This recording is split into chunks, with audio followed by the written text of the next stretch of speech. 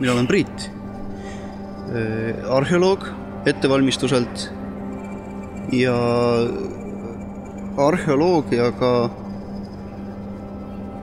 nii-öelda professionaalselt olen tegelenud ülikooli ajast peale, ehk siis praeguseks kuskil viis-kuusteist aastat ja Meremuuseumis olen töötanud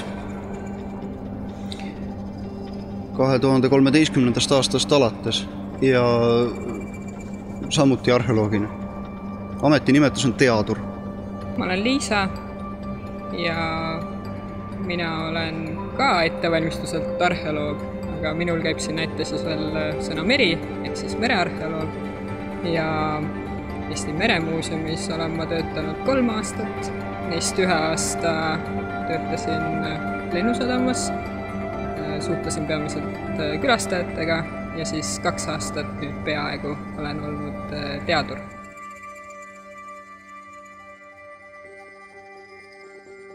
merearheoloogia juurde ma sattusin tegelikult täiesti juhuslikult.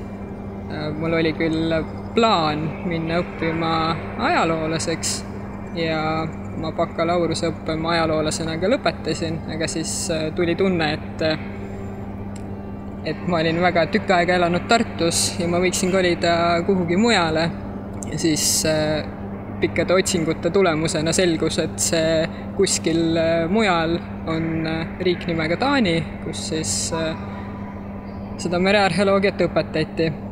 ja miks ma ta valisin, oli see, et ma tahtsin midagi natukene praktilisemat, kui on ajalugu. ma ei jaksanud enam ainult dokumente vaadata. Ja samas mulle väga meeldib meri, nii et võib-olla mitte just kõige traditsioonilisem teekond, aga ma olen sellega väga rahul. minul on niimoodi, et ma olin põhikooli poiss, kui ma äh, suvel läksin arheoloogilistele kaevamistele tööle ja järgmised suved läksin tagasi. ja umbes kuuendast klassist alates olen ma tahtnud saada ajaloolaseks. Nii et äh, nende suve, suvetööde põhjal selgus, et ma tegelikult tahan saada arheoloogiks. ja Tartu Ülikoolis on, on võimalik õppida mõlemat, nii arheoloogiat kui ajalugu ja, ja seda ma tegin. ja miks arheoloogia mulle meeldib või, või, või mis selle valiku ikkagi põhjustas, on, on tegelikult keeruline öelda. aga üks asi on jah see, et, et tegemist on praktilise alaga. ja arheoloogia on, on kõige reaalsem humanitaarteadus ehk siis arheoloogia kasutab vist kõige rohkem igasuguseid loodusteaduslikke meetodeid. ja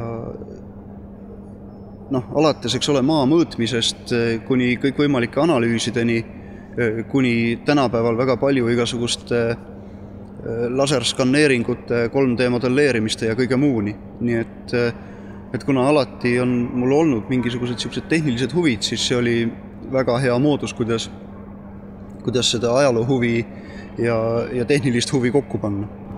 tegelikult selle töö juures on ju kaks poolt. üks pool on arheoloogi pool ja teine pool on nii-öelda selle muuseumi teaduri pool. Arheoloogi poolde, mis meil lähevad suured asjad, näiteks üks keskaegne koge, mida on vaja uurida, konserveerida ja ja teaduri poolde ja, ja kuraatori poolde läheb siis see, et seesama koge on vaja ka eksponeerida. et me oleme alati kuidagi kahe vahel, et ühelt poolt teeme kõvasti uurimistööd ja teiselt poolt üritame neid uurimistulemusi siis koos kogu muuseumi meeskonnaga võimalikult täpselt ja huvitavalt vahendada siis muuseumi külastajatele. jah, et see on raske küsimus. Milline näeb välja arheoloogi tööpäev, võib olla väga erinev, millest üks on tõesti, võib juhtuda see, et tuleb kiiresti reageerida mingisugusele teatele mingi leiu kohta, jah, ja siis, siis juhtub see, mis juhtub, et võib juhtuda see, et et läheb paar tundi aega, aga võib minna mitu päeva aega, võib olla tükk aega mingisugust nokitsemist dokumentide ja esemete kallal, võib olla lihtsalt päevade kaupa kirjutamist, ehk siis täiesti tavaline kontoritöö, kus sa lihtsalt kirjutadki mingit aruannet. nii et, et sellist, väga tihti küsitakse seda küsimust, et milline näeb muuseumi teaduri tööpäev välja ja alati jääb vastamisega hätta. et see on, see on väga erinev. ja, ja noh, loomulikult, mida muuseumis ette tuleb, mida Liisa juba ütles, on, on esiteks oma töö tutvustamine ja teiseks teiseks muuseumi tutvustamine, mis tähendab igasuguseid ettekandeid nii konverentsidel kui koolides, kui, kui ekskursioone siinsamas muuseumis. Nii et väga mitmekesine on see töö. ükskord hakkasin täiesti huvi pärast proovima kirja panna, et päevade kaupa, et mida ma siis sellel päeval tegin. ja ei tulnud välja mitte mingisugust sellist korrapära aga noh, kui rääkida rutiinist, igas töös on mingid rutiinsed asjad, siis noh, siis see ongi, sa, sa puhastad näiteks mingit leidu, kas kaevandis või katuse all ja alati öeldakse, et arheoloogia on väga põnev ja ajalugu on väga põnev ja loomulikult on väga põnev, aga kui sa teed seda miinus kümnekraadise temperatuuriga neljandat päeva järjest, siis noh, tegelikult on endiselt põnev, aga tahaks sooja duši alla. nii et, et, et sellised aspektid on alati töös juures meil on ju tegelikult ka omavaheline termin, mille nimi on teaduri argipäev.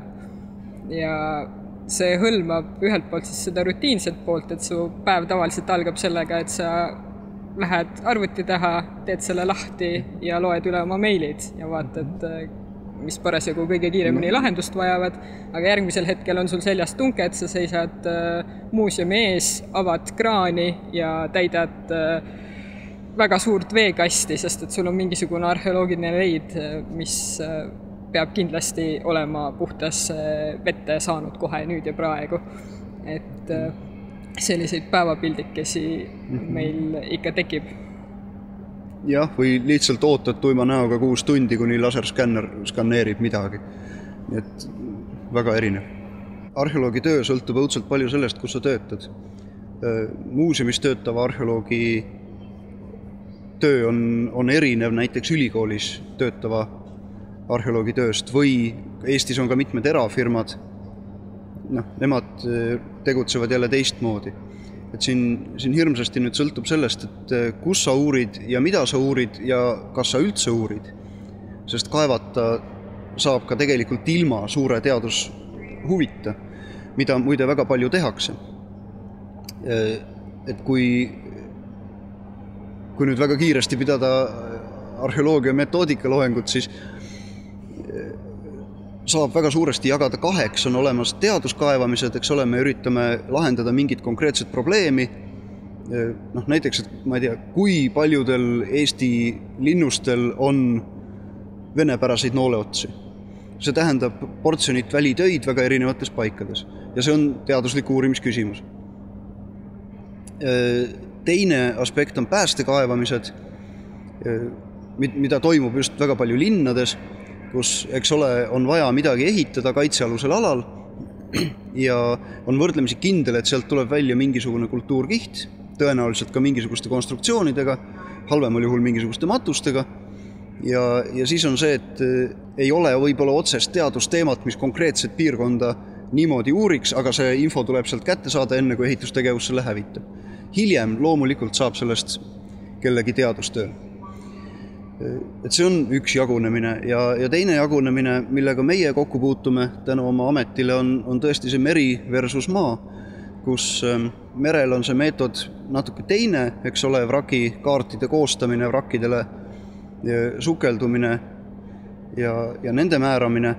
maa peal jah, äh, on see nii-öelda kõigile tuttav kaevamine, mis on siis põhjustatud ükskõik millistel eesmärk, või ükskõik millistel põhjustel. ja, ja lisaks äh, Meremuuseum veel tegutseb sellise hirmsa kohaga nagu rannik kus maa ja meri kokku saavad, äh, sellepärast et äh, lained aeg-ajalt viskavad kaldale laevatükke, mille kohta me üritame mingisugust infot kätte saada, rannikul paiknevad sadamad, et me tegeleme ka sadamate uurimisega ühed, ühed suured probleemid, millega siin on, tuleb kokku puutuda, on näiteks hea küsimus, Tallinna keskaegse sadama kohta, et milline see välja nägi, samuti veel hullem Tallinna muinasaegse sadama kohta, sest tegelikult keegi ei tea, kus see oli. ja, ja seetõttu noh, selliseid maad ja merd kokku panevaid arheoloogilisi küsimusi on, on, on päris palju. oskad sa lisada midagi?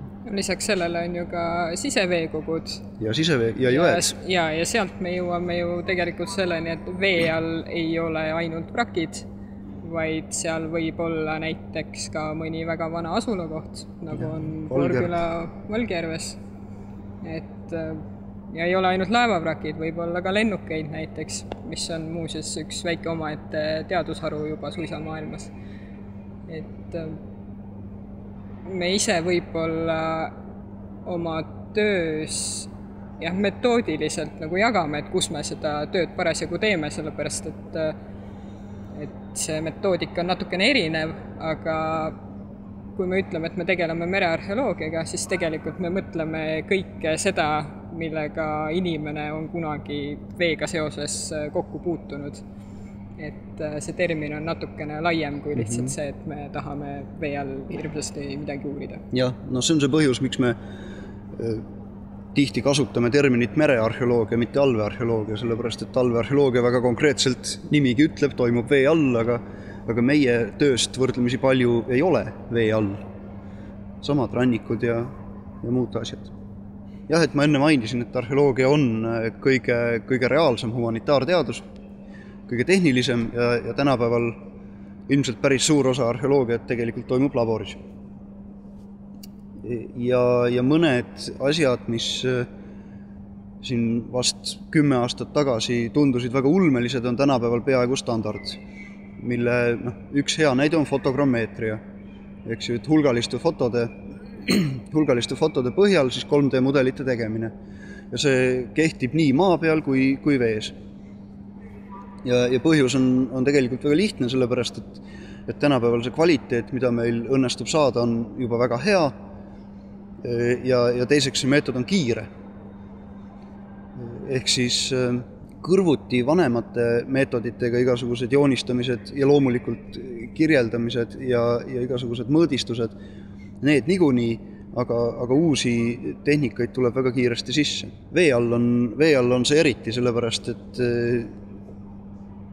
et esiteks sul on vaja spetsiaalset varustust, et vee all tegutseda, ja teiseks, vee all võib olla suhteliselt ohtlik ja raske, ja, ja noh, tänu sellele, et eks, eks ole, igasugused sonarid, mida on mitut tüüpi, nii merepõhja kaardistamiseks kui vrakkide uurimiseks, robotid loomulikult, nii autonoomsed kui kui siis kaugjuhitavad ja see areng on tegelikult kohutavalt kiire.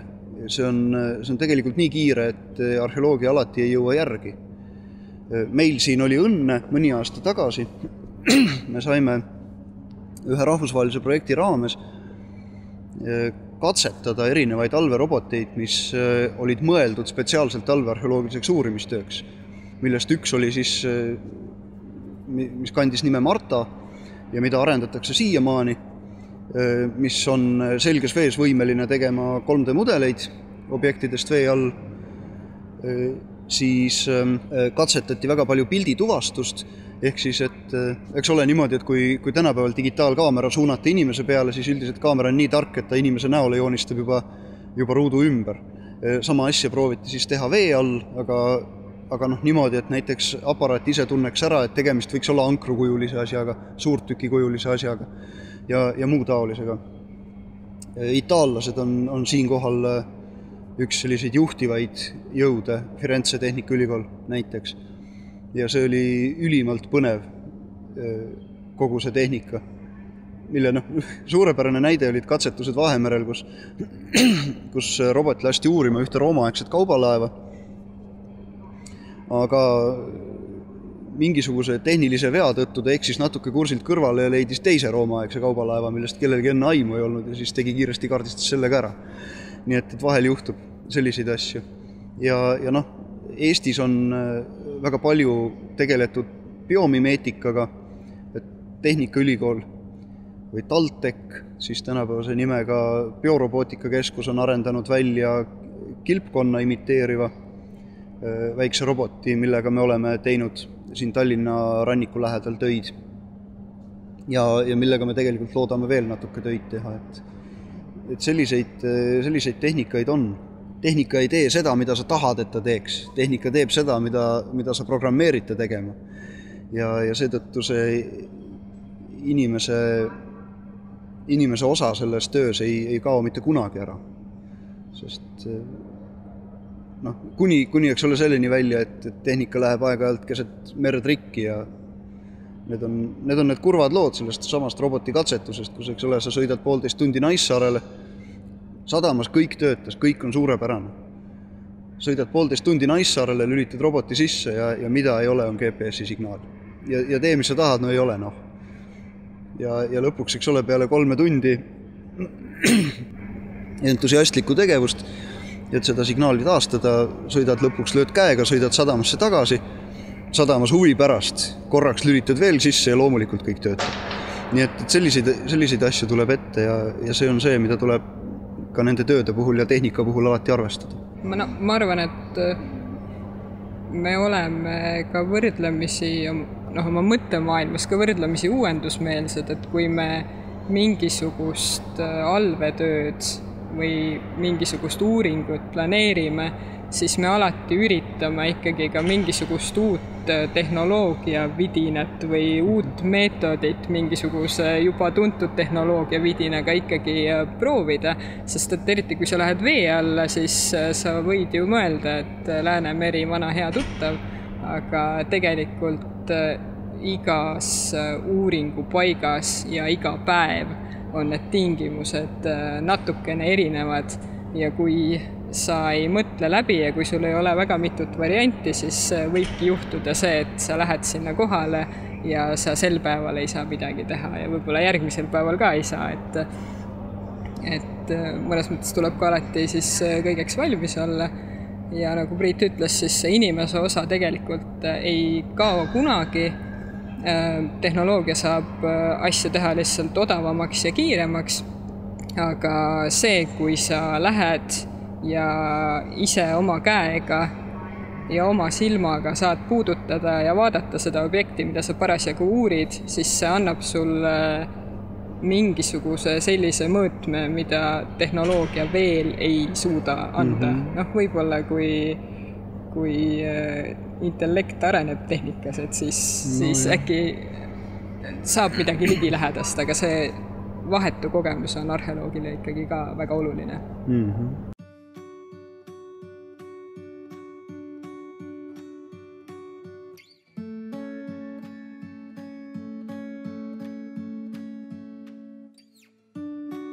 minu jaoks võib-olla kõige võluvam hetk oli see, kui ma õppisin sukelduma ja ma mäletan, et see algus oli vaevaline, sest et teised selles grupis olid, kes minuga koos sukeldusid, olid äh, palju edasijõudnumad ja sellega juba kokku puutunud. ja siis äh, selle ühel hetkel ma siis lõpetasin selle rabelesi, rabelemise seal vee all ära. ja, ja lihtsalt hõljusin ja noh, sain aru, et see on üks pagana mõnus tunne. Ja et noh, seda võiks äh, veel kogeda. et äh, ja noh, sealt edasi siis äh, need esimesed arheoloogiakogemused vee all, kus see, kus see kõik jälle segi paisatakse, et ohoo, et nüüd ma lihtsalt ei hõlju, vaid ma pean nagu päriselt midagi tegema ka. Midagi üles märkima, midagi mõõtma, mul on mingisugused mõõdulindid, vahendid, see kõik võib minu juurest hoovusega ära lennata. et selles on omajagu sellist põnevust, mis on siiani säilinud jah, mis hetkel käib see klõps, et vot nüüd ma tahan arheoloogiks saada, ma arvan, et see võis olla esimestel kaevamistel, kui, kui ikkagi põhikooli poisina mind pandi nivelliiri taha, ehk siis suhtelisi kõrgusi määrama. sellise pikksilmaga, millel on, noh, see on, igaüks kujutab ette umbes nagu läbi optilise sihiku vaadata, eks ole, ja siis on mõõtelatt ja ja sa, ja siis on natuke arvutamist ja, ja siis, kui väga uhke tunne loomulikult, sellepärast et sinu öeldud numbrid lähevad kõik ametlikele plaanidele kirja ja kõik on väga äge. ja, ja see, see oli selline üks, üks tore hetk, et, et mulle meeldiks sellist tööd teha. ja, ja teine on jah, muidugi mingisugused leiud. Ehm, alati on äh, meeldejäävad need leiud, mida sa ise teed loomulikult. Viljandi lossimäed näiteks, sealsed kaevamised, Kiviaja asula kaevamised need, need leiud äh, ju tavavaatajale tegelikult ei ole midagi erilist, eks ole, need on keraamikakillud ja, või, või mingid äh, kvartsi või, või tulekivikillud, aga, aga kui sa selle asja sees oled ja sulle on juba päris palju räägitud, äh, mida see kõik tähendab ja, ja kui vanad need on, siis, siis selline iga leid ikka paneb silma särama. ja, ja muidugi noh, Meremuuseumi töö juures ikkagi sellised kõrghetked on, on sellesama koge leidmine. Ja, ja noh, see hetk, kui sa saad teada, et jah, et see tuleb muuseumisse ja, ja mina hakkan selle eest vastutama, noh, ja siis kogu see töö, esiteks, et sa üldse oskaks seal midagi teha ja, ja siis aeg-ajalt, aeg-ajalt mõtled selle peale, et püha jumal, et see on, see on üks väheseid nii hästi säilinud keskaegseid laevu maailmas üldse ja, ja mina pean siis olema see inimene, kes, kes üritab selle kohta midagi tarka öelda või, või sellega midagi tarka teha, siis võtab kergelt põlve värisema. noh, minu jaoks üks kõrghetk on see, kui saab õppida laevajuhtimist. sa oled humanitaarteadlane, eks ole, töötad muuseumis ja selle peale saadetakse sind laevajuhtimist õppima. noh, järgmisena saadetakse sind raadiosidet õppima, sellepärast et merel tuleb raadiosidet aeg-ajalt pidada, et noh, sellised, et, et jah, neid võimalusi on väga palju ja need võivad olla aeg-ajalt sellised, mida ei, ei, ei seostaks selle ametiga kohe.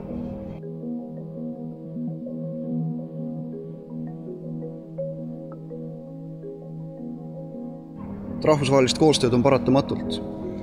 E, sellepärast, et e, ma, ma toon enda, enda juurest selle näite, et kui, kui ma tahan küsida midagi spetsiifilist keskaegse laeva kohta, millega ma tegelen, siis äh, lähimad inimesed, kes tõenäoliselt oskaks mulle vastata või oskaks mulle kas või kirjandust soovitada, on Hollandis ja Saksamaal. Äh, lihtsalt ei ole muud varianti, peab piiri taha vaatama.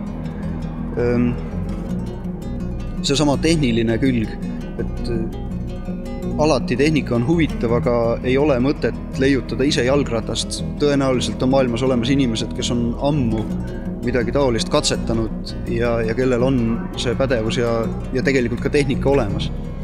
nii et noh, seesama robotiprojekt on suurepärane näide.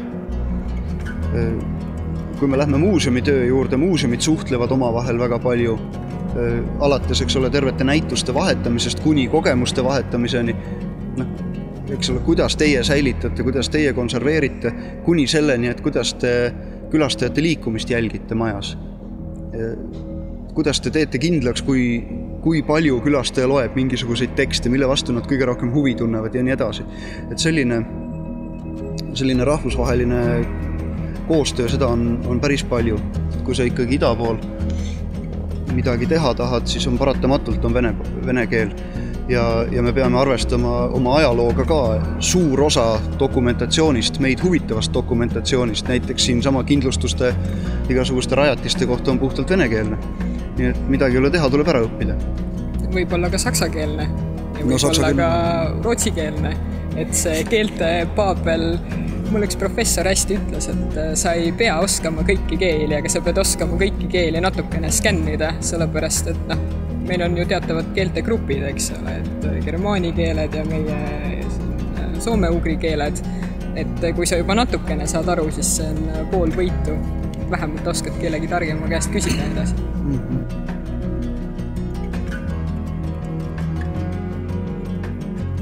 mul on üks kolleeg, kes, kellega me aeg-ajalt äh, jõuame järeldusele, et me oleme omamoodi ikkagi hullud. ja see aitab väljend on hull nagu kännuämblik, mida me kasutame.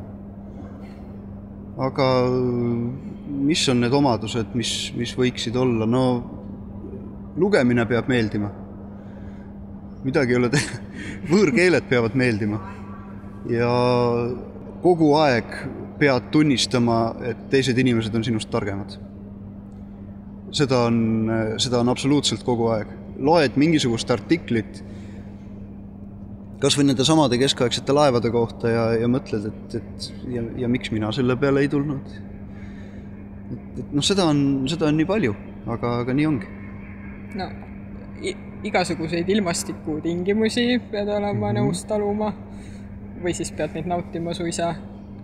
Äh, hea oleks võib-olla mitte väga merehaiguse aldis olla.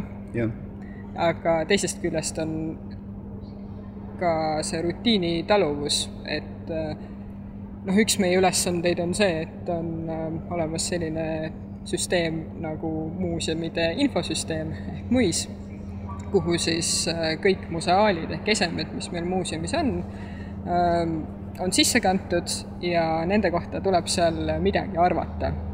mis ajast ta on pärit, milleks teda kasutati ja milline on siis tema see saamise lugu või, või elulugu. Ja iga muuseumi teadur ja koguhoidja on sellega niivõrd seotud, et on aastas teatud arv siis kirjeldusi, mis me peame ära tegema ja see on väga rutiinne arvutitöö mm. ja noh, paratamatult kõik esemed või kõik, kõik fotod või kõik äh, paberdokumendid ei ole nii huvitavad, kui nad noh, kui sa neid ette kujutad. Et siis äh, noh, seda järjepidevust, et, et mingisugune töö lõpule viia mm. peab olema ikkagi päris kõvasti aga muidugi avatus, avatus äh, uutele kogemustele, uutele inimestele ja kogu aeg pead olema valmis õppima, et ei tule koolist äh, valmis inimest, et seal tegelikult äh, alles see õppimine algab. just. oskus fantaasiarikkalt vanduda, kui, kui tehnika alt veab. Ja kolleege heas tujus hoida. jaa, kusjuures see on oluline. see on väga oluline, et siis on kõik õnnelikumad, meil on avatud kontor mm -hmm. ja ja kui kõik Just. on väga torss, siis läheb lihtsalt teistel ka tuju ja üldiselt meil on üsna lõbus